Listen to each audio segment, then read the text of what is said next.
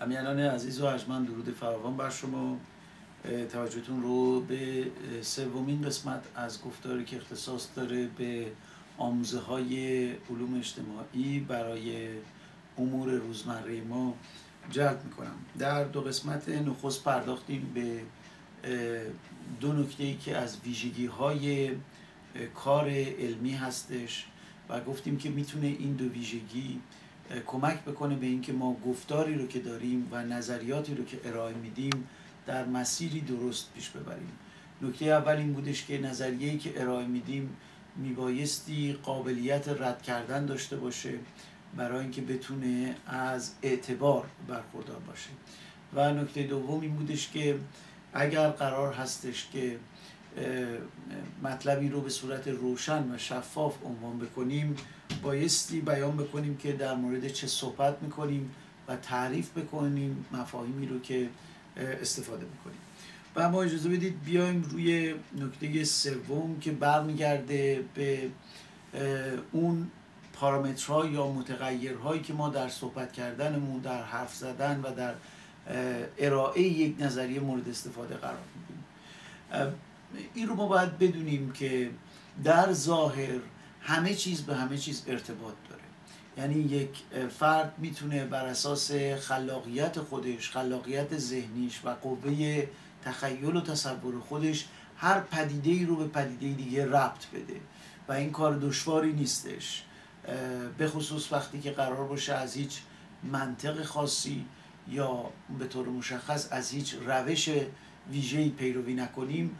در این صورت بله قادر خواهیم بود که هر موضوعی رو به موضوع دیگری ربط بدیم و به این ترتیب برای خودمون یک دستگاه تحلیلی درست کنیم که در اون نتیجه گیری که ارائه میدیم به ظاهر به صلاح مرتبط میادش و عوامل مختلف یه جوری به همدیگه ربط پیدا می‌کنه. اما در نظریه پردازی علمی که می‌تونه منبع الهامی باشه برای نظریه پردازی های فردی که ما در مورد مسائل مختلف می‌کنیم واقعا این شرایط موجود نیستش و یه سری از ویژگی ها و خصلت ها هستش که باید رعایت بشه و در این گفتار می‌پردازیم به اون ویژگی ها نخست ببینیم خود کلمه متغیر زمانی که به کار می‌بریم یعنی به قول فرانسوی ها وقیبل یا چیزی که variable تغییر می‌کنه. متغیر به معنی پدیده ای که تغییر می‌کنه. و معناش این استش که متغیر پدیده است که در رابطه با پدیده های دیگه کم یا زیاد میشه بالا و پایین میره. و دو نقش رو می‌تونه ایفا بکنه. یکی اینکه نقش به صلاح علت هستش به عنوان علت یک پدیده عمل می‌کنه و یا به عنوان معلول اون. و آنچه که مهمه این هستش که ما زمانی که می‌خوایم یک متغیری رو توضیح بدیم این حتما و حتما در ارتباط قرار می‌گیره با یک متغیر دیگه به عنوان علتش و احتمال خیلی زیاد با یک متغیر سوم به عنوان معلولش. یعنی یک متغیر همزمان می‌تونه هم علت باشه و هم معلول و بنابراین این امکان که پدیده به صورت مطلق همیشه نقش علت رو بتونه بازی بکنه یا همیشه فقط معلول باشه در یک دستگاه تحلیلی که می‌خواد صحبت از متغیر بکنه یعنی چیزی که تغییر می‌کنه چیزی که جایگاهش تغییر می‌کنه نقشش تغییر می‌کنه اندازه و کمیتش تغییر می‌کنه بسیار دشوار هستش. برای همینم یک تضاد عمده و اساسی در علم و مذهب شکل می‌گیره. به این صورت که در علم هیچ چیزی نمی‌تونه نقش علت العلل رو داشته باشه یعنی علت علت ها باشه و هر علتی هر چقدر هم که مهم و کلی باشه در نهایت باز خودش معلول یک علت دیگر در نظر گرفته میشه. حالا چه این علت رو ما به صورت مشخص بشناسیم و یا اینکه بر اساس روابط منطقی این احتمال رو بدیم که یک علتی براش عمل داره می‌کنه. اما در مذهب از اون جایی که بحث علت در یک جایی متوقف میشه دیگه بحث پویایی خودش رو از دست میده. یا در واقع اگر بخوایم دقیقتر صحبت بکنیم بحث عینیت خودش رو از دست میده. ملموس بودن خودش واقعی بودن خودش رو از دست میده. چرا؟ چون همونطور که می‌دونید در مذهب همه مباحث در نهایت به این ختم میشه که بله یک آفریننده یا همون علت اصلی وجود داره. اونم اسمش خداست همه چیز رو به وجود آورده. اما وقتی نوبت خودش میشه دیگه این منطق متوقف میشه. و خداوند خودش دارای هیچ گونه به صلاح علتی نیست معلول هیچ علتی نیست بلکه زمانی که سوال میشه که خب از کجا وجود داشته چه جوری به وجود اومده دیگه بحث میره وارد یک جنگ فرسایشی میشه و استدلال هایی که در واقع چیزی نیست جز تکرار و باز تولید همین صحبت که ما در نهایت زنجیره چیزی رو در نظر نمی‌گیریم. چرا در نظر نمی‌گیریم؟ دیگه بحثش به صلاح باز نمیشه و یا دلایلی که ارائه میشه دلایل عینی نیستش دلایل ذهنی و خیال پرورانه هستش که نخیر این موجود به اسم خدا ازلی بوده ابدی هستش و توضیح ناپذیره یا اینکه به صلاح جزئی نمی‌تونه باشه.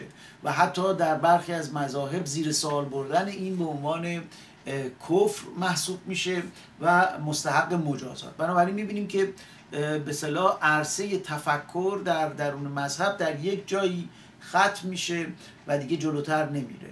اما در علم که ما در موردش صحبت می‌کنیم این عرصه یا این زنجیره هیچ موقع متوقف نمیشه و در واقع به صورت ناکرانمند یعنی فاقد کرانه فاقد محدودیت پیش میره و همیشه و همیشه در ذهن فردی که با مسائل علمی یعنی عینی برخورد می‌کنه این ذهنیت وجود داره که اون چیزی رو که من کشف کردم الان به عنوان علت این پدیده خودش می‌تونه معلول یک پدیده دیگری باشه و این روند همچنان ادامه پیدا می‌کنه. اما آنچه که بسیار مهمه اینه که زمانی که ما می‌خوایم علت یا به صلاح دلایل یک پدیده رو توضیح بدیم چند نکته رو در نظر داشته باشیم. نخست اینکه یک پدیده به عنوان معلول می‌تونه دارای بیش از یک علت باشه. یعنی معمولا اینطور هستش که فقط یک چیز نیستش که یک پدیده رو به وجود میاره. معمولا دو چند چیزه که ممکنه یکیش علت اصلی باشه و سایرین علت های فرعی اما ما باید همیشه اینو در ذهنمون داشته باشیم و در نظر بگیریم که احتمال اینکه به جای یک علت بیشتر از یک علت وجود داشته باشه هستش. نکته دومی که رابطه بین علت و معلول باید یک رابطه عینی باشه. یعنی رابطه ای نباشه که ما در ذهنمون اون رو ساختیم در ذهنمون پروروندیم. در واقع بر اساس قوه تخیلمون بهش می‌رسیم که این رو به اون ربط بدیم. ریشه هایی که یک معلول رو به یک علت وصل می‌کنه باید ریشه های عینی باشه. یعنی ریشه هایی باشه که به قول فرنگی ها ابژکتیو باشه. در بیرون از ذهن ما میبایستی وجود داشته باشه. و طریقه به دست آوردنش مشاهده هستش و تجربه هستش و آزمایش هستش که به ما می‌تونه نشون بده چه ما بخوایم چه نخواهیم چه دوست داشته باشیم چه نداشته باشیم. این رابطه داره عمل می‌کنه در دنیای بیرونی و از طریق مشاهده از طریق به کارگیری ابزارهای لازم برای درک این رابطه ما می‌تونیم اونها رو ببینیم پیدا بکنیم و حتی اندازه گیری بکنیم در بسیاری از موارد. پس زمانی که ما نخست چندین علت رو قائل میشیم برای یک پدیده این سبب میشه که تفسیر ما و تحلیل ما از یک پدیده به عنوان معلول از حالت تکبودی یا در واقع تک علتی بیرون بیادش. و این امکان وجود داشته باشه که ما ابعاد مختلف جنبه های مختلف و عرصه های مختلف رو ببینیم و به این ترتیب بتونیم یک دید نسبتا کامل و همه جانبه نسبت به اون موضوع داشته باشیم. دوم اینکه رابطه بین پدیده ها بایستی رابطه عینی باشه بایستی رابطه واقعی باشه یعنی در واقعیت در جریان باشه و نه در ذهن ما. ذهن ما می‌تونه رابطه واقعی رو بگیره و پرورشش بده می‌تونه سازماندهیش بکنه می‌تونه تدوینش بکنه نظریه پردازی بکنه به قول معروف تئوریزش بکنه. اما اصل رابطه و چگونگی تاثیرگذاری یک پدیده بر پدیده دیگه در چارچوب یک رابطه علی میبایستی به صورت واقعی به سلام موجود باشه. نکته سوم که درک این رابطه میبایستی از روش پیروی بکنه. یعنی ما نمی‌تونیم که به صلاح همینجوری دل بخواهی تمام مسائل رو مثلا عرض می‌کنم ببینیم و بعد اینطوری تصور بکنیم که این با اون در ارتباط من دارم یکی دو تا علائم و آمار و اعداد و ارقام هم می‌بینم. پس باید یه رابطه ای باشه. و اینجوری تصور بکنیم که خیلی هم داریم عینی برخورد می‌کنیم و واقعی برخورد می‌کنیم و رابطه علت و معلولی دو تا پدیده هم کشف کردیم. خیر. پاسخ منفیه. یعنی نمی‌تونیم ما از این طریق به به روابط علی دو پدیده پی ببریم یا اون رو کشف بکنیم. چه کار باید بکنیم؟ بایستی از روش استفاده بکنیم. و روش چی هستش؟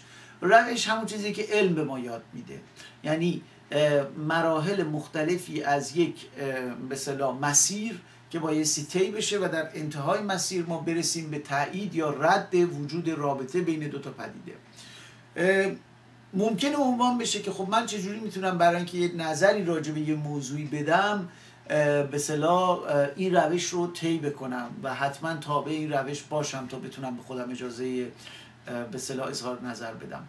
بحث بر سر اینه که اگر ذهنی بره به دنبال به کارگیری روش ها در بررسی پدیده ها بعد از تمرین و تکرار و ممارست و آشنایی با مرحله بندی آشنایی با مفاهیم آشنایی با تکنیک ها این می‌تونه جزو به صلاح دستگاه فکری آدم در بیاد. و ما می‌تونیم مسائل رو درونی بکنیم. و از این طریق این روش رو تقریبا به صورت خودکار اما همیشه به صورت آگاهانه. یعنی این مسئله ای نیستش که به صورت ناخودآگاه بگیم بله ما انقدر آدم روشمندی هستیم که همه این مسائل رو به صلاح با متد باش برخورد می‌کنیم. خیر این همیشه مستلزم دقت توجه و آگاهی ما هستش روی پدیده. اما آنچه که بسیار مهمه اینه که ما خود متد رو بشناسیم. ما روش رو بشناسیم. بدونیم که راجع به هر مسئله که می‌خوایم به صلاح اظهار نظر بکنیم اول باید یه پرسش مطرح بکنیم. بعد ببینیم پاسخهایی که در مورد اون پرسش هستش چه می باشد و بعد بر اساس پاسخهای موجود اگر جوابی که ما می‌خوایم ارائه بدیم در اون پاسخها نیستش یک جواب فرضی رو عنوان بکنیم. فرضیه عنوان بکنیم. و بعد این فرضیه رو بر اساس داده های درون واقعیت مورد بررسی قرار بدیم و بر اساس نتیجه اون داده ها بیایم فرضیه ابتدایی خودمون یعنی پاسخ فرضی خودمون رو یا تایید بکنیم یا رد بکنیم و به این ترتیب برسیم به یک نظری. خب ببینید این که من در عرض سی ثانیه عنوان کردم این کل روش شناسی علمی هستش در مسائل علوم اجتماعی که موضوع با طرح سوال شروع میشه و همیشه می‌بینیم که آیا از قبل پاسخی به این سوال داده شده یا خیر.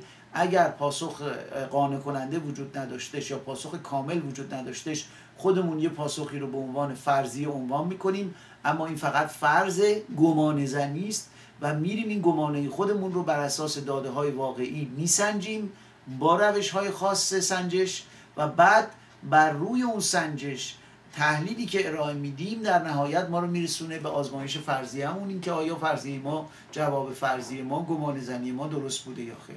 این رو وقتی ما جا بندازیم در ذهنمون به تدریج تمرینش بکنیم می‌تونیم در موارد بسیاری به کار بگیریم. اما اگر این روش سخت جلوه می‌کنه در این حال یه پیامی درش وجود داره و اون اینکه اتفاقا اظهار نظر کردن قطعی اظهار نظر کردن دقیق کار دشواری هستش. و اینجاست وقتی که میریم به عمق مسئله متوجه میشیم که برای اظهار نظر در مورد یک موضوع چه شرایطی رو ما باید رعایت بکنیم که امروز داریم در مورد شرط سوم اون صحبت می‌کنیم چقدر مسئله حساس میشه و چقدر در فرهنگ ما ایرانیان این مسئله نادیده انگاشته میشه که ما به خودمون اجازه میدیم بشینیم در مورد تمام مسائل فلسفی، اخلاقی، اجتماعی، سیاسی، فرهنگی، تاریخی، اقتصادی اظهار نظر بکنیم و اظهار نظرهایی که اینقدر به قطعیتش باور داریم که وقتی کسی دیگری چیزی رو میگه که نظر ما رو زیر سوال می‌بره براشفته میشیم و احساس می‌کنیم که مثلا بهمون اهانت شده یا چی. نه علت این مسئله خیلی ساده است. علتش اینه که چون به خودمون اجازه میدیم بدون دانش بدون تخصص بدون روش راجع به مسائل قضاوت بکنیم نظر پشت نظر ارائه بدیم مسلمه که این نظر نمی‌تونه چندان قوی باشه. نمی‌تونه چندان پایه و اساس استدلالی مستحکمی داشته باشه. و لذا برای دیگران بسیار آسانه که بتونن نظر ما رو رد بکنن یا حداقل زیر سوال ببرن. و بنابراین نباید براشفته بشیم که این زیر سوال رفته. زمانی ما می‌تونیم از نظر خودمون دفاع بکنیم به معنی یک حقیقت نسبی یک حقیقت قابل تغییر که همونطوری که در قسمت اول این گفتار به سری جدید ارز کردم باور داشته باشیم که نظریه ما قابل رد کردن هستش. وقتی که این رو قبول کردیم میایم. حالا که رفتیم کار مستند کردیم کار دقیق کردیم و نتیجه رو اعلام کردیم یه نفری اومده نتیجه ما رو زیر سوال برده ما می‌تونیم با استناد بر اونچه که روش کار کردیم از نظریمون دفاع بکنیم. نه با استناد به اینکه من گفتم چون من مطرح کردم من آقای دکتر آقای پروفسور نمی‌دونم استاد و غیر و اینا عنوان کردم پس درسته. نه هیچ گونه درستی به صورت از پیش تعیین شده و در ورای محتوا و جدیت روشی که شما در به وجود آوردن این محتوا و این نظر به کار بستید به عنوان قطعیت در نظر شما وجود نداره. اگر حرفی زدید که مستند بر اساس استناد به اون چیزی که بهش ارجاع کردید می‌تونید دفاع بکنید در نظرتون. بگید من اگر اینجا این حرف زدم به خاطر این بوده که در این سند در این مدرک در این مورد در این آزمایش در این تجربه این ثابت شده. یا اثبات شده به صورت عرض می‌کنم نسبی کلمه. و از اون نسبیت دفاع بکنید. از اون نسبیت با قاطعیت دفاع بکنید. اما زمانی که این کار رو نکردید زمانی که بر اساس احساسات عواطف احتمال ها حدس ها و به صلاح آنچه که شنیدید از این طرف از اون طرف. بر اساس اون چیزی که بهش میگن ذهنیات. نشستید و باز خودتون یه چیزی رو گفتید یا نوشتید یا منتشر کردید و الان هم در مقابل سوالهای فراوانی قرار گرفتید در مقابل به صلاح ضد استدلالهای فراوان دیگران قرار گرفتید که حرف شما رو زیر سوال می‌بره اینجا اگر بخواید با تعصب و با به صلاح احساسات برخورد بکنید با موضوع اعتبار کار خودتون زیر سوال بردید. بنابراین چه بهتر استش که ما با رعایت دقیق نکاتی که در علوم اجتماعی در علم به طور کلی به ما یاری میده برای اینکه بتونیم نظریه های استوارتر، معتبرتر، جدیتر، دقیقتر، عینیتر رو ارائه بدیم. با بهرهگیری از اینها بیایم تبدیل بشیم به افرادی که زمانی که راجع به یک چیزی اظهار نظر می‌کنن به صورت دقیق روش کار کردن روش به کار گرفتن اسناد و مدارک و منابع و تجربه و آزمایش رو به خدمت گرفتن و به این ترتیب اون حرفی رو که در نهایت می‌زنن حرفی هستش که پشتوانه داره و پشتش چیز خوابیده که قابل دفاع میکنتشون به معنی نسبی کلمه. به حال تا اینجا سه ویژگی به صلاح نظریه پردازی درست رو عنوان کردیم. امیدوار هستم که هفته آینده بتونیم ویژگی چهارم رو عنوان بکنیم و این بحث رو اونجا ببندیم و نتیجه گیری بکنیم